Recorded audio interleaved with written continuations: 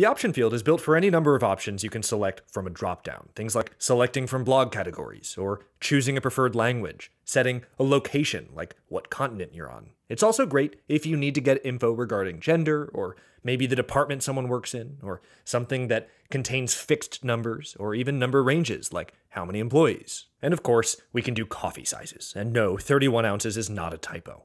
A couple ways to practically use this. Number one, on the canvas here, we can bind a text element to this field, getting the option text from the collection.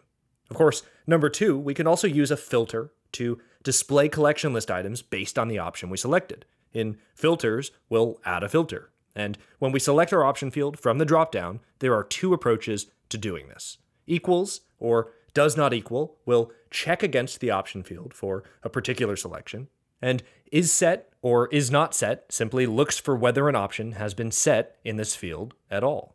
Now, if we find ourselves adding options that like to stick together, maybe we want to link a color to each blog category, we could just create a collection for blog categories. And instead of an option field, we could use a reference or multi reference field.